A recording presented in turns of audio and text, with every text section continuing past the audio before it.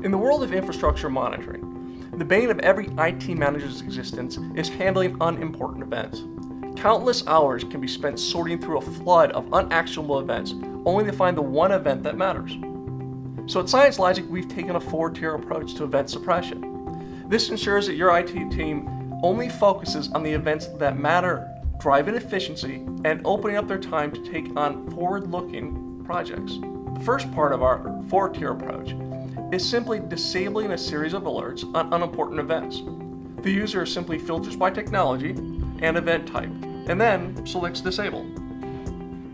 The second approach is event suppression based on parent child relationships. A great example is VMware, where an ESXi host goes down, and all the alerts coming from the VMs associated with that ESXi host are suppressed. We could also do the same with topologies like uh, CDP. In this example, we're actually looking at CDP. We're doing suppression based upon the proximity of the ScienceLogic collector. We see that the router has a down network interface, which should be connecting it to the other device. The availability alerts to all the devices on the right hand side of the screen are suppressed. Further, we note that we've suppressed over 100 availability alerts and only displayed one. The third approach is alert suppression for groups of elements or devices.